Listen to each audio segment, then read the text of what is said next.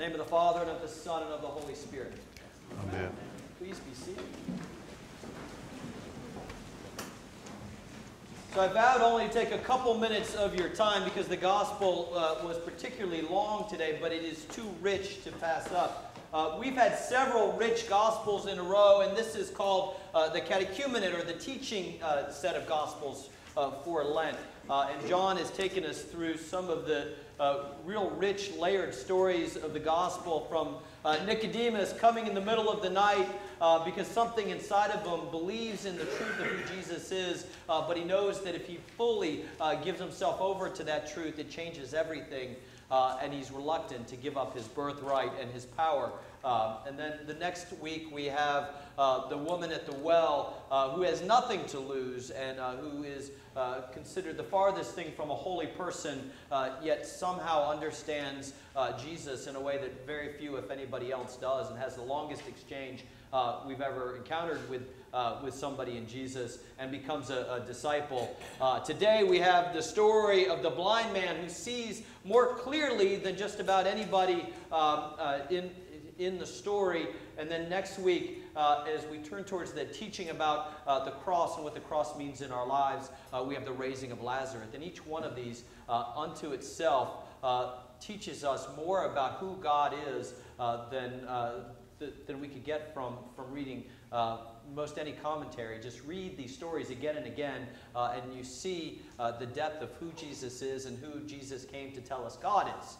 All this to say, um, one of the things that I, I, talked about last week, and I talked to our children about when we do the virtues of the month during school, uh, when we get to the virtue of respect, uh, that I think the best and clearest ways to understand respect uh, is breaking it down to its root of re, which means again, uh, and spectacle, or the word for spectacles, to see again. And each one of these Gospels is encouraging us uh, to look again, uh, uh, to spectate again upon the story, upon the people in the story with God's eyes. Everyone sees Nicodemus as the religious leader who has all the answers. Yet in the dark of night, in the depth of his soul, he has more questions than answers, and he's hungry for something that truly feeds him. God sees that putting on God's lens, lenses, the woman who is married five times, who has to go in the middle of the day uh, to draw water, understands the heart of God, the compassion of God, the forgiveness of God, the grace of God uh, more than anyone. And to God, this is not only a beloved child, but someone who has particular gifts and experiences to carry the gospel. With God's glasses on, this is a disciple, an evangelist. And now we get to the story of the blind man who, wearing God's eyes, we realize is one of the few people that truly see. So let's go to the story. And before we go there, I have to tell you, I will never be able to read this story again uh, without uh, going back to my experience uh, that you all made possible in May of last year of going to the Holy Land. And I talked about the fact that uh, most of my most uh, visceral experiences of God came from the natural landscape. Uh, very few of the incredibly ornate churches uh, uh, uh touched my soul. They were gorgeous, but they didn't quite evoke the sense that God was here as much as the natural landscape. And one exception of that was the Pool of Siloam. Uh, partly because it was only discovered in 2004, so they hadn't been able to put a huge uh, uh, uh, tower over it and marble it up, and uh, it really was as it had been. Uh, and the, funny thing about it is that it's only about half of the pool, because half of it is on Greek Orthodox land, and so you get halfway through the Pool of Siloam, which has this incredible story that takes place here, and then you have a chain link fence with a whole bunch of shrubbery growing up around it. Um, and because they couldn't figure out a, a, solution to the dispute between the two churches, somehow the church uh, is able to uh, hinder our ability to truly uh, uh, uh connect with God. Um, but it was somewhat of a telling uh, irony. But there's this pool that is incredibly restored. Uh, it is as it was. I mean, it's just a flat uh, pool, and you can just picture this is where, um, where this man went down to be healed. And I have to say, uh, this guy drew the short straw when you think of the healing stories. And all of the healing stories have far more going on than just the magic of Jesus being able to heal. Pay attention to the details. Uh, remember the, uh, the hemorrhaging woman, what she had to do to receive uh, her healing? She just grabbed the hem uh, of, of, of Jesus' uh, cloak uh, and was healed. Jesus makes this gentleman go the long way. His healing involves Jesus taking a whole bunch of dirt, spitting in it, rubbing it together, rubbing that mud and spit all over uh, his eyes. And then that's not enough. He sends him uh, to the pool of Siloam, which means sent. It seems like kind of a convoluted way to heal for somebody who can heal just by touching their cloak. But I think there is a lot going on here. One, what's the first thing that the disciples say when they came upon this man? Do you remember the very first thing the disciples said when they came upon this blind man? Who sinned? They didn't say, Did this guy screw up? They already presumed that. They said, Who sinned? Did this man sin, or did his parents sin, or his grandparents sin? Who sinned that he ended up a blind man that we don't have to pay any attention to, that we don't even know how much uh, uh, about what he looks like, that when he's healed, we can't even identify him? Who sinned so that we can ignore this guy? Was it him or was it his grandparents? And Jesus says, neither. But this is an opportunity for God's glory to be revealed.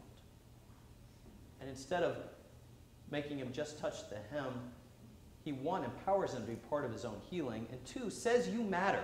There's something incarnational, there's something human about Jesus touching him, stopping what he's doing, rubbing that dirt uh, and that spit, and taking something of Jesus and rubbing it in his eyes and saying, You matter enough to, to, uh, to rub the dirt in his eyes and saying, You go finish the healing story. You go to the pool of Siloam, which means sent, because you are going to be sent out into the world.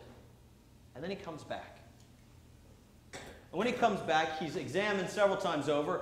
They hardly know what he looks like. It's sort of like Clark Kent and Superman or, or, or, or Supergirl. And you know, how do they not know that this is the guy that they've been walking past for years and years in a small town? Uh, but for some reason, they've looked over him or past him uh, because they haven't had to honor him uh, in the full person that he is. And they've been able to uh, uh, forgive themselves because this person's responsible for their own uh, despair.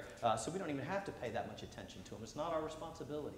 Uh, it must be God, God's punishment to this person. Uh, so they've looked over him, and uh, he's there, and he's healed. And they're, they're, they're questioning. The zone townspeople are saying, Aren't you the guy that, uh, that was blind? He said, Yes, but now I see. And they said, That's not possible. Uh, and they keep challenging him. So then they go and get the Pharisees, uh, and they, they challenge him some more. And they say, Aren't you the guy who was blind? He said, Yes. And he said, Well, now you see. And they said, That's not possible. and then, Wasn't it on the Sabbath? And he says, Yes.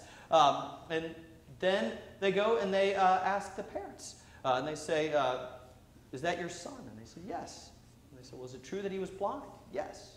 Is it true that he sees now? Yes. And they say, So who healed him?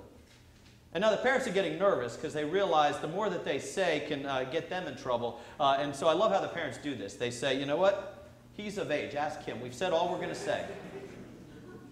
He can speak for himself. Ask him and they kind of excuse themselves. And I love the way that the blind man kind of says very plainly, uh, You're the one who taught me, you are the religious leaders, you're the one who taught me that if you are faithful to God, God will listen to you. And if you are not of God, if you're not faithful to God, if you don't follow God, God won't listen to you. So all I can tell you is that this man took me who was blind and gave me sight.